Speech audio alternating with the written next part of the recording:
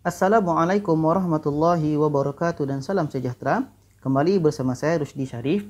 Pada kali ini kita mendapat berita bahagia bahawa pemerintah Indonesia memberikan listrik gratis kepada rakyat Indonesia.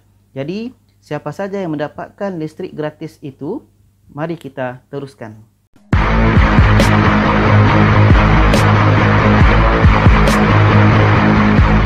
Jadi berdasarkan informasi yang kita terima dan kita pun sudah ramai yang tahu bahawa pemerintah Indonesia memberikan listrik gratis ya. Bagi siapa? Iaitu yang daya listrik 450 dan 900